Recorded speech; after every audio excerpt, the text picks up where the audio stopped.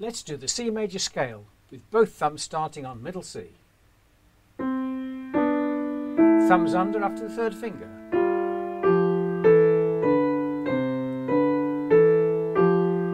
Threes over after the thumbs.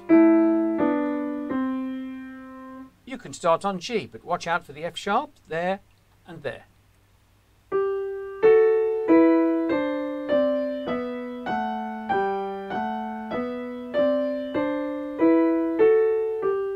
You can start on the Fs, but watch out for the B flat, there and there.